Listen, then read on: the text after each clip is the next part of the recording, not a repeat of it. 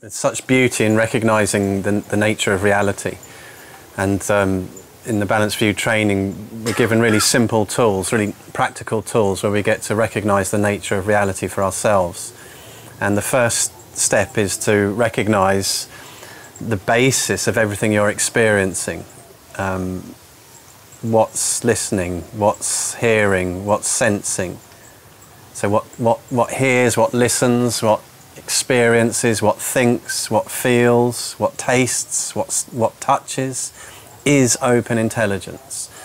And if you just stop thinking for a moment and recognize that there's an alertness, there's something that's aware of the next thought or the next sensation or the next emotion. And it's really important that you identify that for yourself. And this intelligence is naturally present. You don't need to do anything to achieve it. Nobody can give it to you, nobody can take it away. But in a short moment, what you're doing is just acknowledging that or recognizing that it's naturally here, naturally the case, always present. And then there is the suggestion that you repeat the short moment of just stopping the descriptions and recognizing the presence and the openness of your intelligence. So you can just repeat that recognition again whenever you naturally remember. And if you forget about open intelligence, just stop describing, relax mind and body, and recognize what's looking. You don't need to try and name it or describe it, you just rest as it, relax as open intelligence. And the first benefit is immediate because there is a sense of relaxation because what I had been trained to do, um, it's a term that we use in this training, is um, reification. And it just simply means describing every single thought and emotion and then describing our descriptions about every single thought, emotion, or sensation, and then talking about our descriptions of our descriptions of our descriptions, and writing about them, and describing and describing and describing until what we seem to experience is a world made up of all of these isolated objects, and we're somehow an isolated subject interacting with all of these descriptions that are out there. And that is really difficult, it's really challenging, because then I need to deal with all of these different descriptions by describing them further. And it's an endless cycle of more and more thinking, more and more describing, more and more struggle. And I learn certain descriptions about how things should be and how things shouldn't be, um, particularly personally. So, how I should feel and how I shouldn't feel. Um, I have hopes and expectations about I'll always be happy, or today I'll be happy, or tomorrow I'm I'm afraid that I won't be happy, or tomorrow I'm afraid that I'll be lonely, or I'm afraid that I'll be let down by somebody really close to me, or and all of these descriptions then become the focus of our energy and our activity, trying to manage them and trying to ensure that we have the ones that somehow we've learned we should have, and we don't have the ones that we've learned we shouldn't have. And then we try and manage our experience to fit those ideas and those concepts. And it's really, really hard work. And the benefit of, in a short moment, just allowing everything to be just as it is, is immediate. Because I basically step off that hamster wheel of continually working at my experience to make it look a certain way. I just take a break from that. So there's a sense of, of, of relief immediately. I, I can just relax as I am right now. I don't need to busy myself with all of my hopes and fears about how things might be in the future. I don't need to be completely occupied with all of my thoughts about how things were in the past, describing everything, thinking about everything, comparing how it is with how I think it should be. It's a short moment of just complete perceptual openness, cuts that whole game at the root. I just step off the hamster wheel. As the suggestion is to take a short moment and then repeat that many times whenever you naturally remember, in each short moment, what I began to see for myself was that the actual nature of reality is not this hard and fast fixed world that I continue to describe and describe. The nature of reality is completely wide open. All of the data that are streaming, all of your experience, thoughts, emotions, physical sensations, are the dynamic energy of open intelligence. They appear spontaneously, they self release naturally, like a, a rainbow appearing in space. So with a rainbow, we can see its colours really beautifully. It's, it's vivid and it's, you know, it's, it's obvious, and we really enjoy that experience. But can we say there's anything really there? We experience it, but there's nothing actually to hold on to. There's nothing to grasp onto. And we wouldn't try to do that with a rainbow. So we take this approach of a short moment with all data streams. We allow everything to be as it is just for a short moment. And then that learned habit of jumping back into describing everything and focusing in on all of our thoughts, emotions, and sensations is so strong that immediately we're back on that hamster wheel, thinking about everything, describing everything, trying to work everything out. And then we take another short moment, we relax naturally, rest naturally. And there's that openness. There's that openness of perception that had never gone anywhere. All that happens is if we collapse into the descriptions. And we repeat that recognition. And the Balanced View training really provides a platform where we can explore everything. We can speak to people to clarify the nature of our own experience as open intelligence. Because it's so easy to get caught up in a description, really believing it's true. Now, with the instinctive recognition of the inseparability of whatever the current moment perception is from open intelligence in a short moment, that aligns us with reality. Because the hopes and fears are just naturally outshone by allowing everything to be as it is.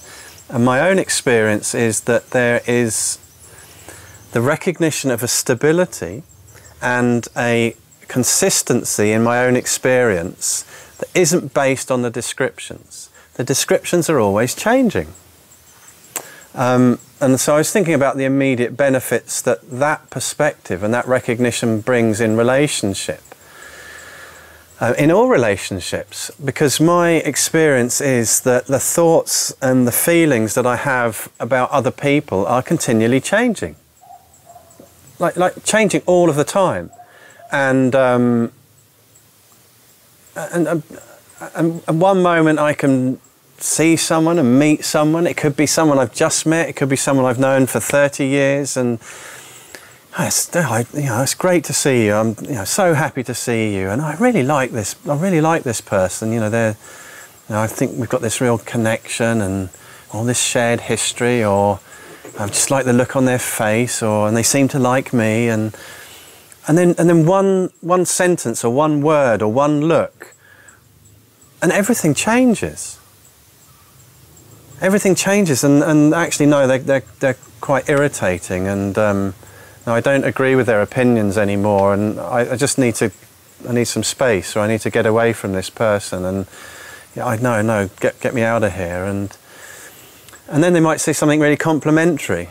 I like the shirt you're wearing actually they're quite nice, aren't they? I like them. I like them again. And, um, and, and the problem is there is if I base my relating on the ever-changing descriptions, then it's like being on a roller coaster because I'm, I'm happy and friendly and open and easygoing one minute, and then I'm reserved and slightly resentful and backing off and closing down, and then I'm open again. And th- there's no stability in that way of relating because what we're doing is giving each of these thoughts, emotions, and sensations, the data, an independent nature and are giving them this power over us. And each short moment of allowing them just to flow on by and seeing that they leave no trace in the pristine openness of mind, like the flight path of a bird in the sky. No trace. And we see that for ourselves in a short moment of allowing them to flow on by. Since that's what they're doing already, that's so easy. We just relax and allow them to be as they are. Then the basis for the relating becomes the perceptual openness, inclusive of all the data, but not dependent on the data for the way that we choose to relate. the way that we choose to speak, the way we act, and who we are in the world. The same could be said for the way that we relate to ourselves. Um, my descriptions about myself vary all throughout the day. Um, and it's, it's, it's really funny, this, this, this sort of commentary about who I am, how I'm doing, um, what I like, um, am I happy, am I sad, am I hot, am I, am I this, am I that? It's continually changing. And that would include the physical sensations as well. And to recognize physical sensations as also part of this indivisible expanse gives a completely different perspective on them. Um, it, it gives an ease and an openness around physical sensations, even physical pain. So it was really powerful for me to um, take a short moment of recognizing the inseparability of physical sensation from the vast expanse of open intelligence instinctively. Not, not thinking about that, but just relaxing with that physical sensation and allowing it to be as it is. So, for example, right now I can feel a slight, um, like a slight gurgling in my stomach. It's not pain, but it's something there. Something's going on there. I hope nothing serious. You might not see me up on stage for a week if it is, but it's I can take a short moment and I can recognize that that physical sensation is also just the dynamic energy of open intelligence. That's the only way I experience it. And in that recognition, there is the capacity to allow it to be as it is. And from that vantage, there is a simple seeing in what needs to be done, what will be of most benefit. So, do I need to go and see a doctor? Do I need to consider um, other options to take care of myself, the physical health. But all of that, or maybe I just relax and nothing actually really needs to be done, it's not serious. But all of those options and all of that clarity, it, it's innate. And it comes from recognizing the fundamental basis of the description open intelligence. The description as the dynamic energy of this open intelligence. Because if I focused in on every physical sensation, then life would be a nightmare. There's, there's always something going on in my body that I could be worried about. There's always something, and you know, if you check now, there's probably something that if you really wanted to be worried about, who knows what that little sensation is in your big toe. I don't know, it's always the big toe. But um, you know, maybe it's something really serious. Maybe I need to panic. What am I doing sitting here speaking to all these people? This is, I need to do something about this. And hold on, hold on. Let's take a short moment, recognize that that sensation, all of the descriptions around it, are also just the dynamic energy of open intelligence.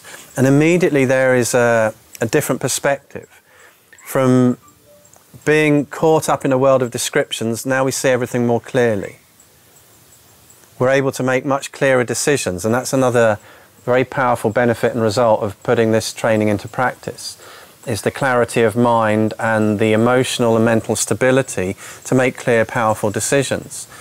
To see that basing my relating, basing my decisions on the ever changing flow of data is always confusing because they're always up and down, this way and that way when I base the decision making and I base the relating on the vastness, the openness of intelligence that's looking through your eyes right now, allowing the descriptions just to flow on by, then there is a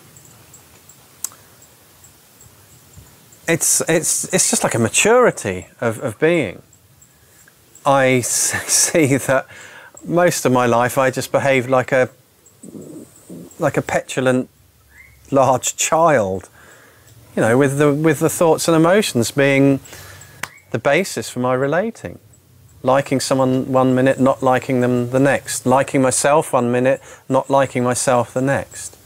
And then looking and trying to work out what the cause of that is, who's to blame, what needs to change, how do I get rid of this negativity, and to put an end to that exhausting game, just in one short moment. It's just the totally different way to live.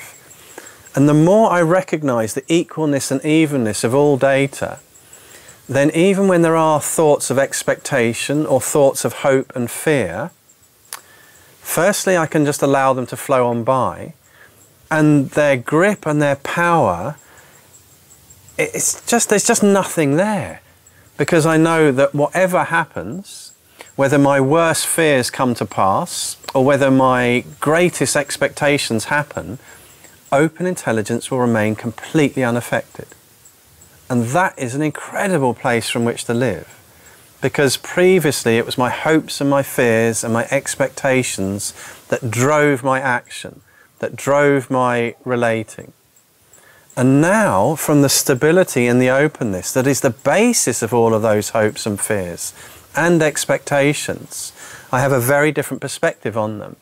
And I can still have hopes and fears and expectations, but there is an ease around them my well being doesn't depend on them either coming to pass or on not coming to pass. So, this is the maturity of being. This is seeing reality as it actually is. Recognizing this um, ephemeral or um, transitory nature of all experience in an instinctive, direct way. This is where we take back the power from data and data become the fuel for beneficial action rather than being something that we are victims to. So it's this very distinct way of living that, that benefits all aspects of life. Because wherever you are, it's open intelligence shining forth data. And the, the support for me is essential and has been essential.